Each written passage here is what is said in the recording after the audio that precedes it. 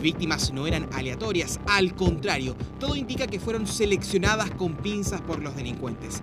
Se trata de una banda extranjera que buscaba clientes bancarios que hubiesen realizado giros millonarios. Ya con el dinero cobrado, los ladrones seguían a la víctima. ¿Cómo operaban? Esta mujer venezolana era la que identificaba al cliente, analizaba en el banco cuánto dinero retiraba para saber si valía la pena o no robarle. Dos hombres en moto y otros tres en un auto arrendado realizaban el riguroso seguimiento hasta que llegaba el momento de atacar. Nos abordaron de un modo pero violento, a mí me pegaron con el revólver en la cabeza y de ahí me enterraba en, en el brazo el revólver y con gesto, nunca habló, me decía que le entregara la plata. Lo que vemos sucedió en septiembre del 2016. Gloria es quien conducía la camioneta. Los dos delincuentes que se le acercan son motochorros de origen colombiano y se llevaron 7 millones de pesos. Y yo empecé a entregarla, obviamente, porque pensé sinceramente que nos iban a disparar y es que son extremadamente violentos, han atacado al menos en seis ocasiones a personas del sector oriente de Santiago, colombianos, venezolanos y mexicanos, una banda de carácter internacional que está operando en Chile, pero tras seis meses de investigación, la PDI dio con el paradero de dos de sus miembros. Estas personas eran muy hábiles, eh, ya que no mantenían domicilio fijo, toda vez que se hospedaban en aparotel.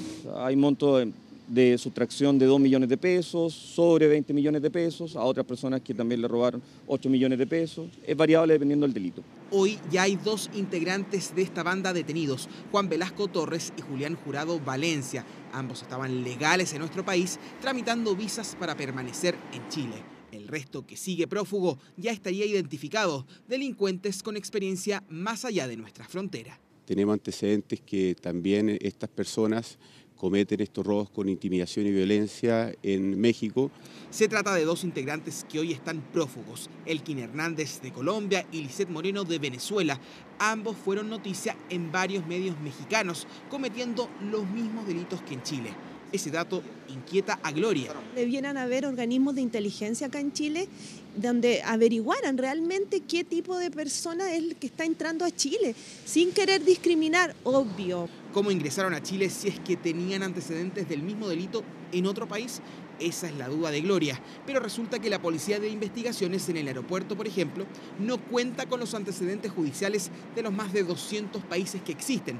Solo actúa cuando hay alertas de Interpol si el estado del cual esa persona no viene no ha emitido esa alerta, la verdad es que la Policía de Investigaciones no cuenta necesariamente con las herramientas para poder determinar si esta persona tiene o no un perfil criminológico.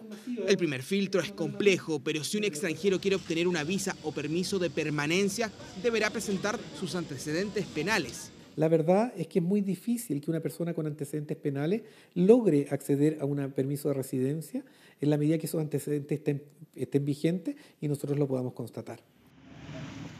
Los dos colombianos detenidos están en prisión preventiva mientras dura la investigación.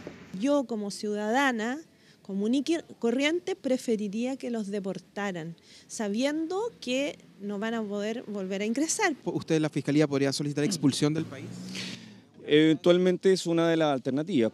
¿Y cómo funciona ese procedimiento acá en Chile? Toda persona extranjera que es condenada por cualquier tipo de delito, inmediatamente se dispone a su respecto una medida de expulsión.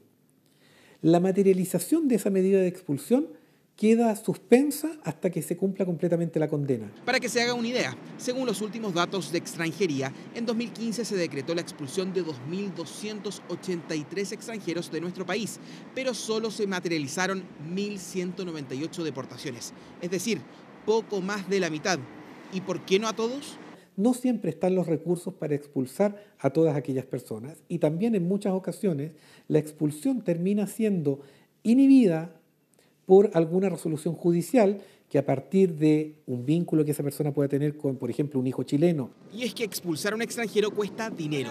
Es el Estado de Chile quien debe costear su traslado al país de origen. De hecho, solo en pasajes, extranjería gastó 417 millones de pesos, una cifra que ha crecido sostenidamente en los últimos años. De todas formas, el gobierno hace un llamado a no criminalizar y generalizar a la población extranjera en Chile la proporción de participación criminal que tienen los extranjeros es inferior a la proporción de participación criminal que tienen los nacionales. He hecho una reflexión.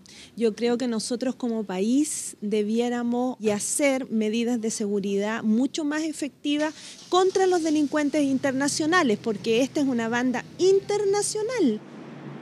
Gloria no se olvidará de estas imágenes, tampoco de la frialdad de estos delincuentes, banda criminal extranjera que hace plantear los desafíos en migración y seguridad.